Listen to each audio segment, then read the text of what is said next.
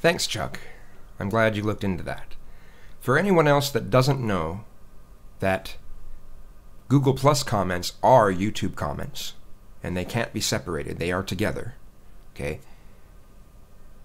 If you want to change those settings, you need to go to any Google Plus page and go to the top left to where you have this this uh, usually it, it, says home and you can just uh, or it usually says home and hover over it and you'll see home profile people photos communities events hangouts pages local and settings.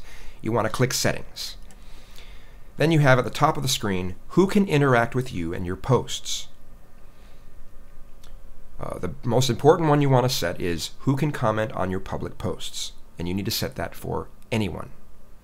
Now, if you want people to be able to send you messages that you can actually see, you want to change the one above it as well for anyone. And it's who can send you notifications. Set that for anyone. Okay? It's that simple.